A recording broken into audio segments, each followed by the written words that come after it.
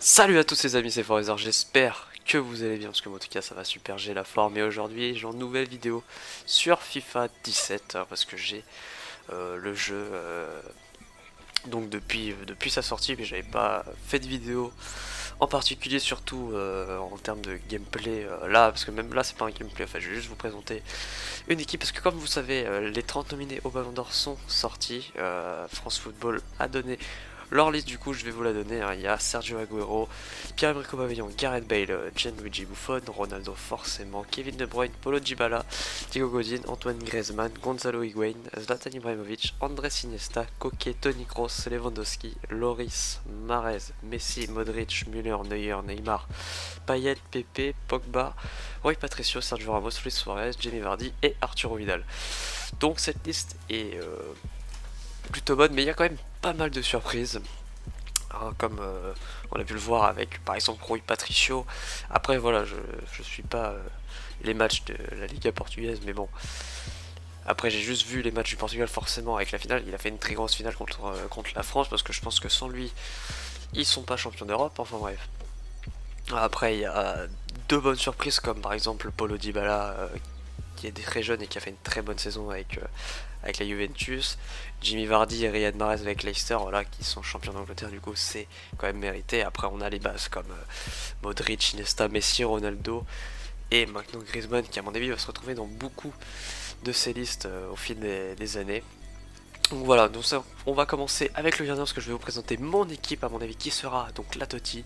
On est en dispositif qui est un 3-4-3 et c'est parti on part pour le gars. Alors au cage on a tout simplement Gianluigi Buffon forcément le portier italien qui a fait une très grosse saison avec la Juventus, très bon euro quand même avec euh, avec euh, l'Italie, voilà, c'est Buffon c'est la classe à l'italienne, c'est je pense pour moi dans les trois gardiens qu'il y a entre Loris et, euh, et Patricio, c'est pour moi le gardien qui mérite d'être dans cette équipe de la de l'année parce que voilà, très grosse saison et puis puis ça fait quand même vraiment longtemps qu'il est qu'il est rendez-vous, il, est vraiment euh, très très fort et je pense qu'il sera devant Loris et Patricio cette année. En charnière centrale, on commence avec Diego Godin. Donc voilà, très grosse saison avec l'Atletico. Avec l'Uruguay, j'ai pas regardé la Copa, je sais pas s'il a fait de bons matchs ou quoi. Mais avec l'Atletico, il a été très bon en Ligue des Champions aussi. De toute façon, il a été défenseur élu des meilleurs défenseurs de Liga euh, Santander cette année. Du coup, je pense qu'il va forcément se retrouver dans cette liste et de toute façon il n'y a que 3 défenseurs donc c'est pas vraiment trop compliqué dans cette liste d'en trouver voilà ils ont mis que 3 défenseurs 3 défenseurs de Ligue on passe au deuxième, Sergio Ramos, voilà encore une fois, très grosse saison, ça fait longtemps qu'il est sur la régulière, on peut même le voir à sa carte, il a 89 de général, alors je crois que l'année dernière, je crois pas qu'il avait 88, il avait 87, je crois bien, et voilà, il est encore super bon avec le Real de Madrid, avec l'Espagne, euro mitigé, mais bon voilà, toujours aussi moins que le Real en Ligue des Champions, capitaine de Hermann du coup ça se comprend qu'il soit euh, à cette place. Le troisième défenseur plutôt PP, très très grosse saison, surtout avec le Portugal, il a fait un euro magnifique. Il a été vraiment très très bon. Avec le Real de Madrid, je sais pas, mais en tout cas aux côtés de Sergio Ramos, ça a été bon. Il a 88 de général cette année sur FIFA 17. Et franchement, très grosse saison. Premier milieu de terrain, on passe à droite avec mon MD. J'ai mis Riyad Mahrez. Voilà, très très grosse saison, tout le monde le sait. Euh, énorme avec Leicester, très bon aussi avec l'Algérie d'après ce qu'on m'a dit. Et, voilà, euh, Mahrez forcément, meilleur joueur d'Angleterre. L'année dernière, il est en D2. Avant, il était au Havre.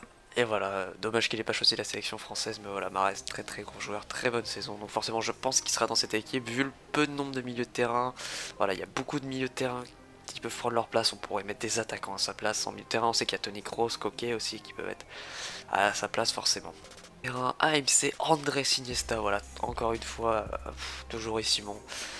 Ça fait, c'est un peu comme Ramos, toujours aussi bon au fil des, euh, années. Même bon euro avec l'Espagne, même si l'Espagne n'a pas fait un bon euro en tant que tel, mais il, a été au rendez-vous. Et voilà, c'est euh, tout simplement très fort. Voilà, à mon avis, il bougera pas, il sera dans cette équipe de l'année.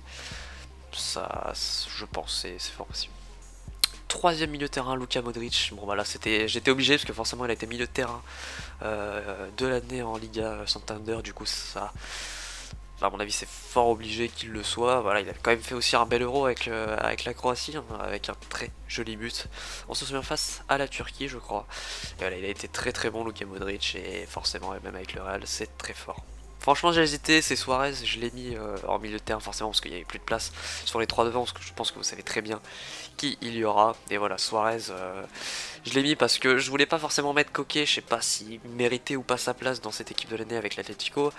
Tony Kroos non plus, et après voilà, il n'y avait pas forcément d'autres milieux de terrain, c'était que des attaquants qui pouvaient être à sa place, comme Zlatan avec une bonne saison forcément avec le PSG, Lewandowski forcément, meilleur buteur de Bundesliga, Aubameyang aussi a été très bon, voilà, c'était compliqué de mettre... Euh, de le mettre et du coup voilà je l'ai choisi pour, euh, euh, pour sa très bonne saison surtout avec le Barça. J'ai voulu le mettre mais voilà c'est un poste vraiment j'ai hésité. J'aurais pu mettre Neymar aussi comme ça il aurait été à gauche. Mais j'ai vraiment hésité à mettre euh, Luis Suarez. Du coup je l'ai quand même mis avec sa très grosse saison. Mais voilà. Ça pourrait être quelqu'un d'autre. C'est vraiment l'élément et le joueur que j'ai hésité à mettre dans cette équipe.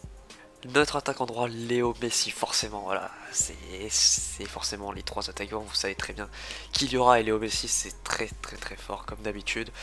Je pense pas qu'il soit cette année Ballon d'Or, parce que voilà, il a quand même été blessé euh, cette saison, même s'il a été très bon, voilà, il n'a pas forcément gagné la Ligue des Champions, mais voilà, euh, il a quand même été très très bon avec le Barça, très bon avec l'Argentine, mais voilà, éliminé en finale forcément contre le Chili, de Copa América, mais voilà, Messi forcément, il est toujours là. Cristiano Ronaldo. Bon, alors là, on présente même plus forcément Ronaldo. Très, très, très fort. Euh, Euro avec le Portugal, je crois qu'il a mis, euh, il a dû mettre 3 ou 4 buts, si je me souviens bien. Bah, il, a dû mettre, il a dû mettre 3 buts ou 2 buts, je suis plus contre la Hongrie. Voilà, il a quand même fait un bon euro, mais voilà, en finale de, euh, l'euro, on sait ce qui s'est passé, il a pas joué. Maintenant, voilà, le Portugal a, gagné cet euro, on peut rien dire. Et voilà, Ronaldo, très grosse saison, surtout avec le Real de Madrid. Je sais pas s'il sera Ballon d'Or, c'est fort possible parce que voilà, il a été quand même normalement sur les stats au-dessus de Messi et surtout il a tout gagné, il a gagné l'Euro et les champions du coup, c'est fort possible. Antoine Griezmann, voilà, Antoine Griezmann, très grosse saison de notre français préféré, le, le français préféré euh, des français du coup.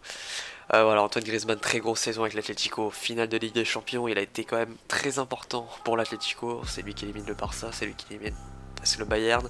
Voilà, énorme. Voilà, malheureusement éliminé en finale de Ligue des Champions au tir au but.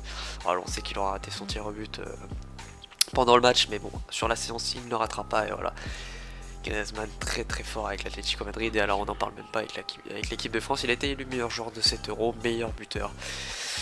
Voilà, donc après sur les stats, je crois qu'il a été élu meilleur joueur, oui c'est ça, il a été élu meilleur joueur de Liga Santander, peut-être qu'il aura Ballon d'Or forcément, euh, moi je vais vous dire, pour moi Griezmann mérite amplement ce ballon d'or. Il a été très très fort et voilà, je pense qu'il sera ballon d'or et j'espère pour lui parce que voilà, c'est notre français et on aimerait tous que Griezmann soit ballon d'or. Donc voilà cette équipe qui a quand même beaucoup de gueule hein, en 3-4-3. Non, j'en ai pas parlé, mais l'entraîneur pour moi ça sera Diego Simeone. On aurait pu mettre aussi Claudio Ranieri. Après on aurait pu mettre Deschamps parce qu'on l'aime bien, parce qu'il est français, euh, parce qu'il y a quand même les sélectionneurs. Mais voilà, Diego Simeone, euh, c'est trop fort, il est trop fort, ce mec il te change des joueurs. Euh, je veux dire, Ferrari Carrasco, il est San Diego Simeone, est toujours à Monaco, je suis pas sûr qu'il ait le même niveau. Et Antoine Griezmann, il le, il le, il le fait venir à l'Atletico en provenance de la Real Sociedad, et voilà, il, le fait devenir aussi fort, il le met dans l'axe, et voilà, Griezmann, maintenant grâce à Diego Simeone, c'est pour ça que Griezmann est dans cette équipe, donc pour moi je pense qu'il le sera, voilà, il emmène, euh, emmène l'Atletico en, en finale de Ligue des Champions et il fait suivre l'Atlético, il, fait suivre, euh, il fait suivre le Real et le Barça, voilà. Ils finissent troisième de Liga Santander, du coup voilà, je pense qu'il le sera. Après ça peut être Adiri forcément avec un exploit. je pense que ça se fera pas non plus beaucoup de fois d'être en des deux, de monter et d'être champion d'Angleterre avec une équipe. Donc voilà, pour moi, cette équipe de l'année, ce sera celle-ci avec cet entraîneur. Euh, n'hésitez pas à me dire dans les commentaires pour vous quel sera votre Totti, votre entraîneur et forcément votre ballon d'or. Voilà, c'était Forezer, j'espère que cette vidéo vous aura plu. Allez, salut